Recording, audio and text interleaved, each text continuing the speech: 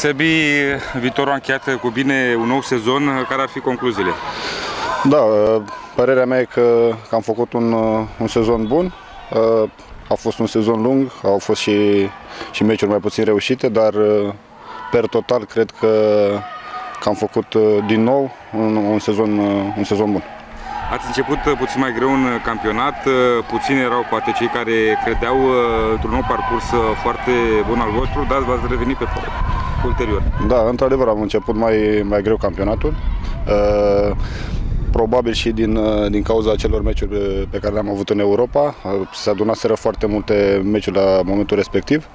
Important e că, că ne-am revenit ușor, ușor. Am reușit să, să jucăm din ce în ce mai bine, să facem puncte și să fim sus în clasament. Care crezi că este secretul acestor reușite? Trei ani la rând în play-off între cele mai bune echipe și în fiecare vară s-a schimbat lotul. Ați avut mereu cel mai tânăr lot din Liga 1? Da, cred că secretul este chiar ăsta, că avem foarte mulți jucători tineri care își doresc să, să se afirme, vin, vin majoritatea vin din Academie, se cunosc între ei, au practică stilul ăsta de joc încă de când sunt uh, foarte mici. Eu cred că omogenitatea și continuitatea de care are parte echipa asta este atul. A fost cel mai bun sezon uh, pentru tine, peste 30 de, de partide disputate, ai și reușit să, să înscrii? Da, cu siguranță a fost cel mai bun sezon al meu.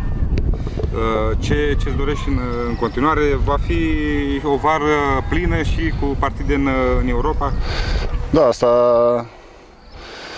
uh, rămâne de văzut acum, nu știu, sper să, să joc și să jucăm din ce în ce mai bine ca și echipă și să facem din nou un sezon mai bun decât a fost uh, acesta. Tu ai schimbat uh, și posturile așa în ultima perioadă a campionatului. Uh, cum a fost? Uh, te-ai simțit la fel de bine? Da, cum am mai spus, sunt jucător, uh, jucător profesionist. Unde are nevoie antrenorul de mine trebuie să, să joc și să, să-mi fac uh, cât mai bine treaba. Un obiectiv personal pentru nou sezon? Uh, mă bucur de vacanță acum și după spun că mă întorc.